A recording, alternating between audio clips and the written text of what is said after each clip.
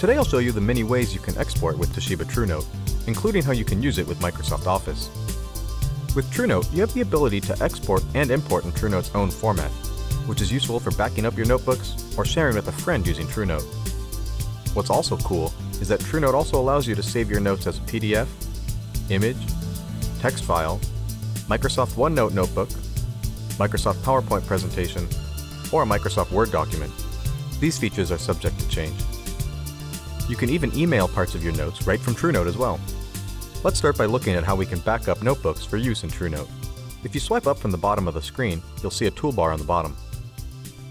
The leftmost button lets you export as a TruNote file. Select this button, then select OK on the right to confirm, and then choose to save your TruNote file. You can use this note as a backup, or even send it to a friend who has TruNote so they can import it. Now let's say you receive a TruNote file from your classmate or colleague. To import it, simply swipe up from the bottom, select Import, and choose the file to import. It's pretty easy. Now let's look at saving in other formats. First, select the notebook and page you want to save, and then swipe up from the bottom. This time choose Save As to see a list of choices. You can save the entire notebook as a PDF, or the individual page in a variety of formats. Say you want to save this note as a PowerPoint presentation. In that case, just select Presentation and then save the file.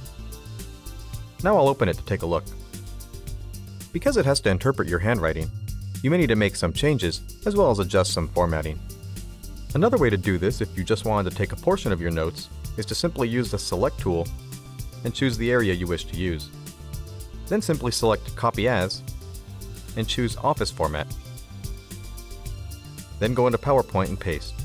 This is a handy way to copy and paste just a portion of your notes. Lastly, let's look at how we can email a part of a note.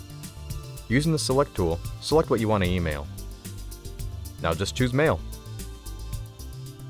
Nice and easy. I hope this gave you a great understanding of the exporting, importing, and saving features of TruNote. There's so much more you can do with TruNote as well. Please see our other videos for more useful TruNote tips and tricks.